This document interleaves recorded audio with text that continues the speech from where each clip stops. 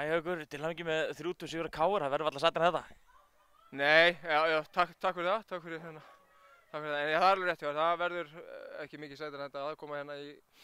það var bara einn erfast af öll landsins og hérna, og, og sækja sigur, það var hérna drullu erfitt og hérna, en djöðli fegin að að ná í þrjú stig.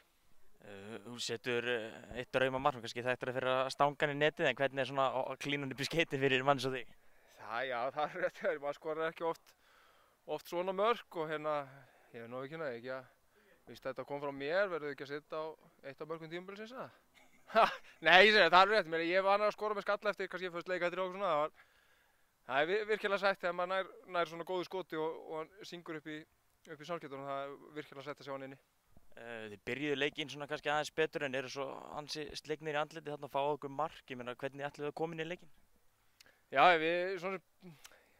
ég veit ekki, mér, mér fannst þeir byrja þokkalega sko og hérna með svona s- allt í ánum, mér fannst þau kannski full soft í byrjun, fannst mér og hérna eins og þeir, þeir komast yfir og við náðum inn jöfnmarkið hérna í lok fyriráleik sem var virkilega, virkilega mikilvægt og hérna svo komu virkilega grimmir inn í seinna áleikin og hérna svo þróast leikurinn þannig bara að við fjallum að aftar þegar það var leið á leikinn og hérna og svona grænduðum út sigurinn á, á ljótur íslensku. Uh, eins og segir skilur, menn að þeir komust kannski meira inn í leikinn eftir þeir komust yfir og voru bara að tala sér betri, fannst þeir sangjart að þeir jafnir leikinn að fyrir hálfleikin? Já, ég sagði, veist, við vorum allan búin að þrýsta þeim svolítið neðarlega, letu boltan vinna mjög vel og, og náðu svo sem ekki að skapa okkur eitthvað mikið en, hérna, en við heldum boltan virkilega vel þannig að alveg undir lok fyriráleiks og hérna, já, já, mér finnst það svo sem alveg sangjant að, að við myndum jafna sko.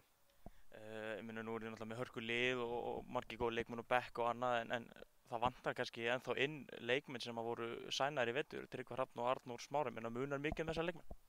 Já, ég auðvitað viljum við, við viljum hafa stóran og breiðan hóp og, og ég meina, við erum með fjóra, fimm stráka sem eru meittir eða utan hóps í dag sem eru, sem eru bara virkilega, virkilega góði fótballtamenn sem getur vel verið í hópnum hjá okkur og hérna, en við kjósum það að vera með stóran og sterkan hóp, mikla samkjæfni og hérna, það þarf til að ná árakri og, og hérna, en við bara von, vonumst til að þeir náu sér fljótt að þessum meðslum,